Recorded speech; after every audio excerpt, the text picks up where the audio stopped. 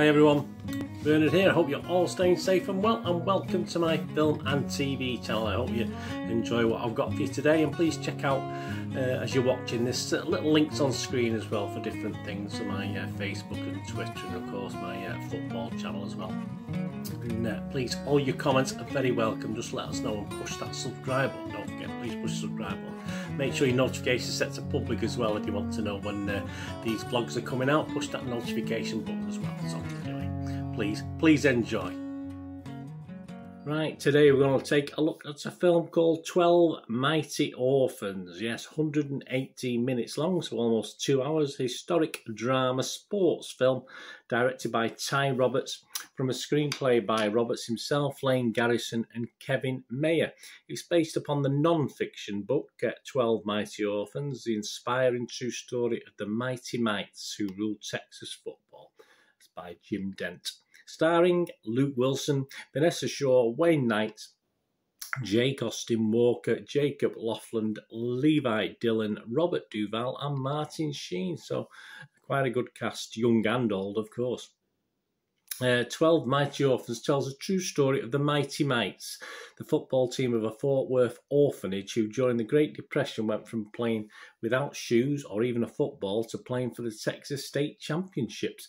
Over the course of their winning season, these underdogs and their resilient spirit became an inspiration to their city, state, and an entire nation in need of a rebound, even catching the attention of President Franklin D. Roosevelt. The architect of their success was Rusty Russell, a legendary high school coach who shocked his colleagues by giving up a privileged position so he could teach and coach at an orphanage. Yeah, I think this guy was an orphan himself, so obviously had a sort of uh, leaning towards that. How's it doing? How's it rating? Well, interestingly enough, uh, not great actually for this sort of film. Rotten Tomatoes, it's okay. It's got a 63% positivity rate, which is okay. Nothing wrong with that. 84 reviews.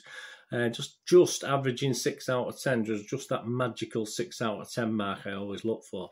But uh, of the actual freshes and rottens, it's got 53 fresh and 31 rotten, so quite a sizable chunk of rottens. One of the rottens was Adam Graham from Detroit News.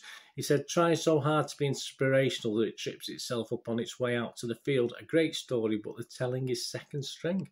But we do have fresh there in the majority, aren't they? Noel Murray from the LA Times wrote, Nothing that happens in this film is unexpected, but these two pros still react with infectious wonder as the messages they send to their students take root and then sprout.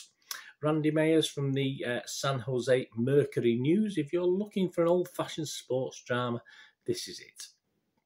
Yet the consensus reads 12 Mighty Orphans will rouse faithful fans of old fashioned inspirational sport dramas, but the target audience has seen this sort of thing done more effectively before. Probably correct in that. That's probably why it's been marked down. But the Rotten Tomato audience, well, this is Joe Public that go and watch this. Uh, 9.4 out of 10. So there you go. Slight discrepancy to the uh, critics and the public with this one. Metacritic, the other critic site, yeah, but even worse than Rotten Tomatoes. They're only going to score this on average of 44 out of 100. That's based on only 14 critics, one four, 14 critics. And it scores anywhere between 20 and 70 out of 100, but there's a lot, a lot of 50 and below within that as well. Uh, Screen Daily's Tim Grierson, he only scored it 40 he said Luke Wilson and Martin Sheen are respectably earnest as the caretakers of these blandly noble underdogs, but this sepia tinged portrait slavishly follows the playbook at every turn, which is ironic since it's a film meant to honour a coach who won by being inventive. Interesting point. The film stage's Jared Mobarak, though, he preferred it a lot more. He gave it 67 out of 100 and said the delineation between good and evil may be a bit too black and white throughout, but none of those aspects removed the potency of the lessons learned along the way.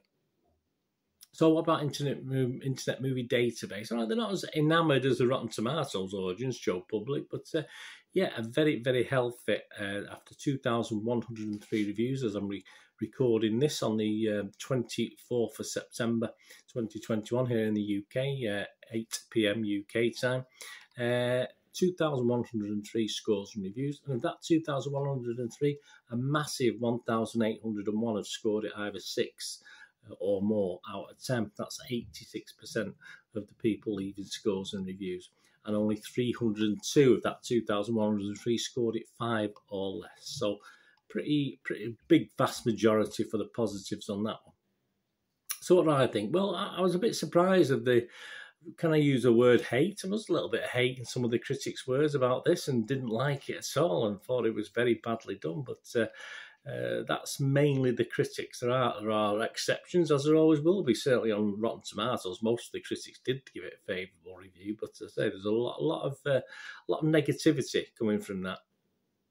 I mean, there's some complaints. I think you're going to get this in any sort of film where it portrays real people uh, in not a nice way, which is uh, obviously we are, I remember many many moons ago with the Titanic film, certain characters, obviously uh, relatives of the families, etc., etc., weren't overly impressed with how these people were portrayed, and and this is this is uh, similar with this. Obviously, it's going to upset a few people, a few groups of people and families, etc.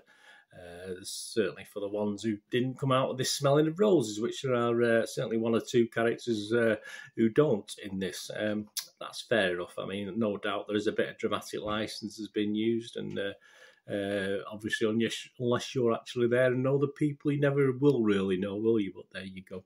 I've seen films, of course, have. I think one of the critics said there, I've seen films like this many, many times. But the, all right, I'm not a big American football fan. I used to like enjoy watching it back in the 80s, but then I soon got a little bit bored with it, to be honest with you.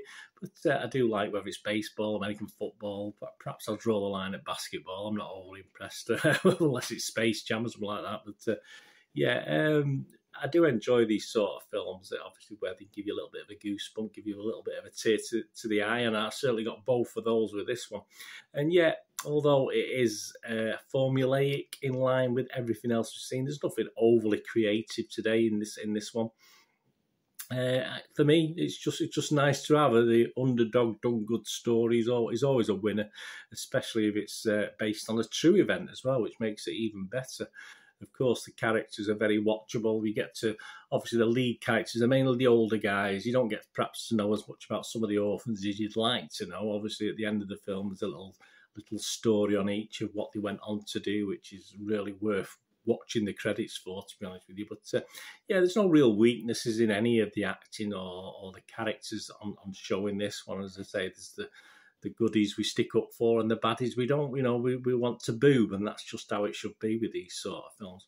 And I can certainly live with watching one of these, one or two of these style of films a year. It, it does does you good to watch this sort of film that uplifts you and makes you feel a little bit better about yourself and a little bit better about humanity at times. Uh, so that's you know, there's always room for that in my mind. Yes, that it's nothing special. It's nothing different to what we've seen before. But uh, given obvious budget limitations with films of this type, uh, I was quite happy with it. I thought it's very good. I think to be you know unfairly critical is a little bit unfair. I just I just don't think it deserves the criticism it gets from.